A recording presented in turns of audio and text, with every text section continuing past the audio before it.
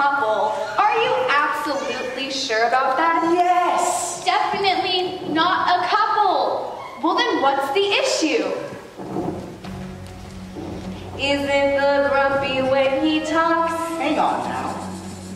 Or the plumpy when he walks? We need your help. Or the pear-shaped, square-shaped weirdness of his feet. Wait, what? No, we know